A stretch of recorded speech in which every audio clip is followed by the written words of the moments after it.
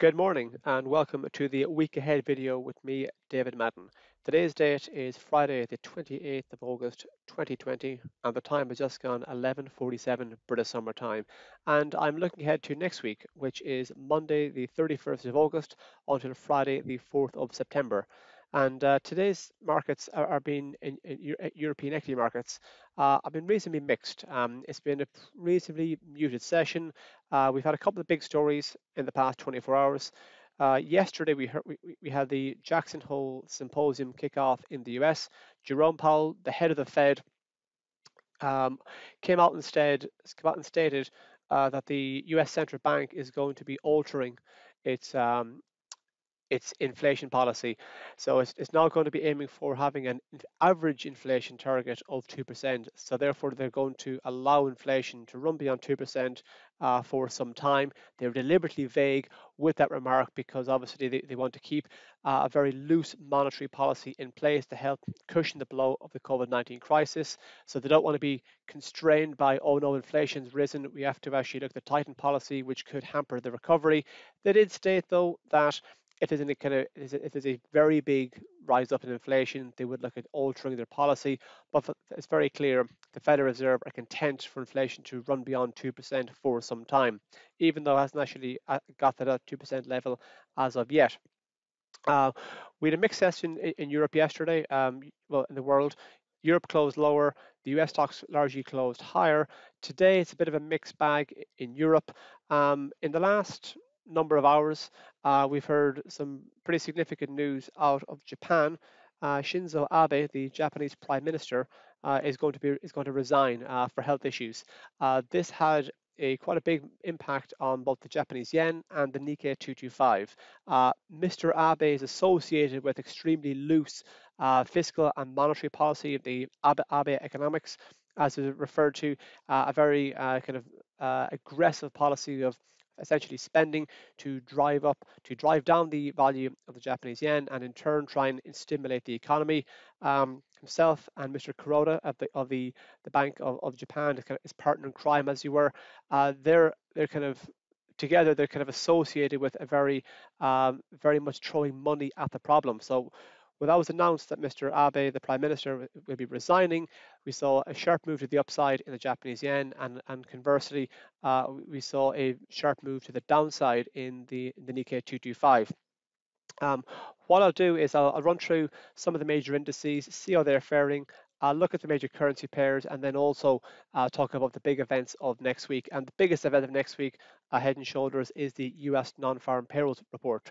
In fact, uh, I'm going to be hosting a webinar on it next week.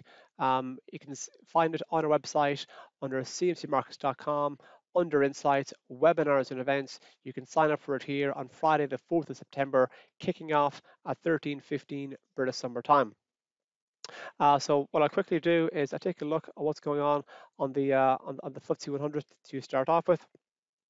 We can see here on the wider trend for um, basically since the, since since late March, it's been it's been to, the upside. But if you look at the price action between June until now, we've seen a, a few lower lows and lower highs. So kind of the bias kind of remains to the downside. And essentially, while we hold below this blue line here, the 50-day moving average in at 3,138, it's likely we could see further um, further moves to the downside. We're currently trading basically in around the kind of 6,000 mark. So if we do have a fairly significant move below this level, we could be heading back down towards this zone here, the, the, the lows for late July in around 5,852. Should we retake the 50-day moving average um, at 6,138, we could be looking at retesting the mid-August highs. And if we go beyond that, we could be heading up towards this zone here in around 3,000, sorry, 6,340, 3,642, there, thereabouts. Um, let's take a look at what's going on over in Germany. The wider trend to the upside, the wider trend for the last few months is still very much to the upside even though the, the highs of August have yet have, haven't actually taken out the highs of July, it's still very much in an upward trend. The lows have been higher. We're kind of comfortably above this blue line here, of the 50-day moving average, which comes into play at 12,740.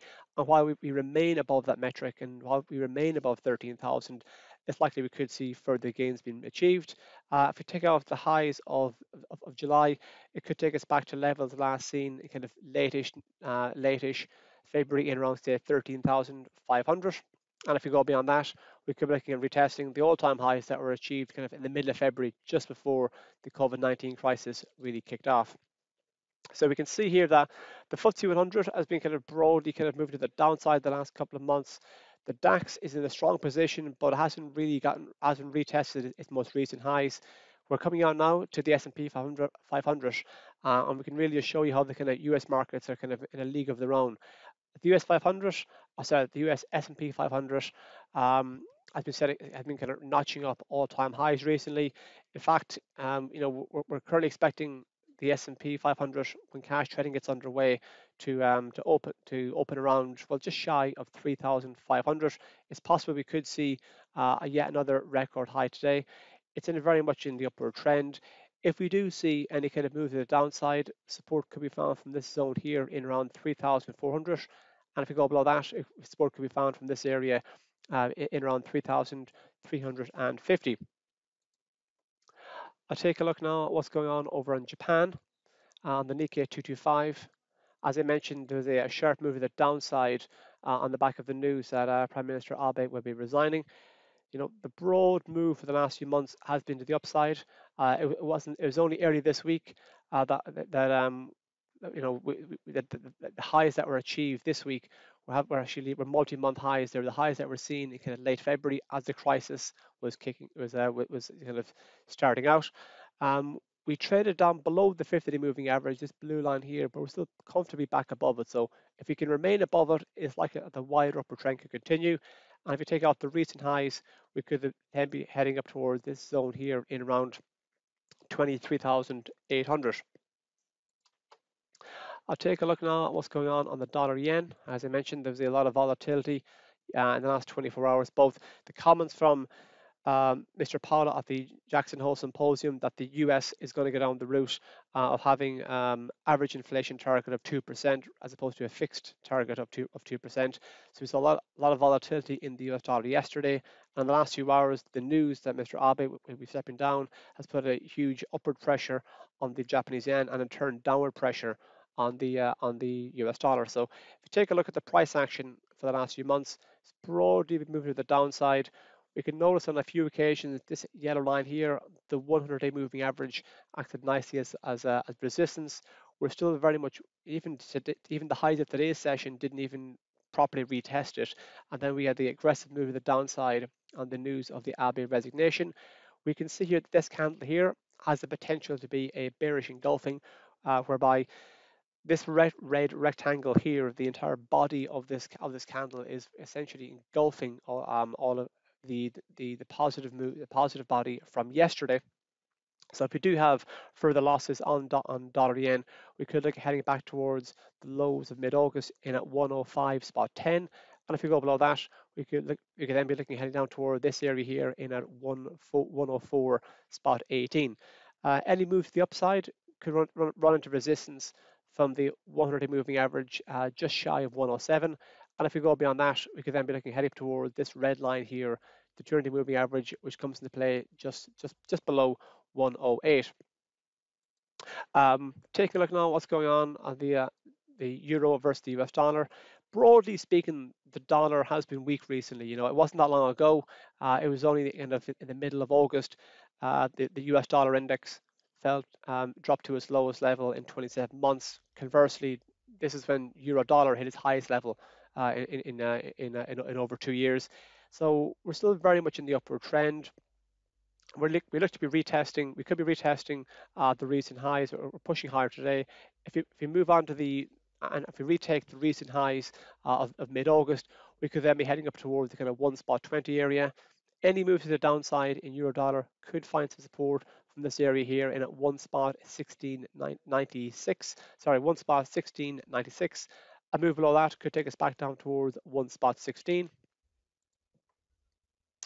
take a look now last in terms of currency pairs um, and charts pound dollar pound dollar is actually you know even even today's uh, upward move Uh, we've, we've, had, we've had a new multi-month high. We've taken out one spot, 32.84.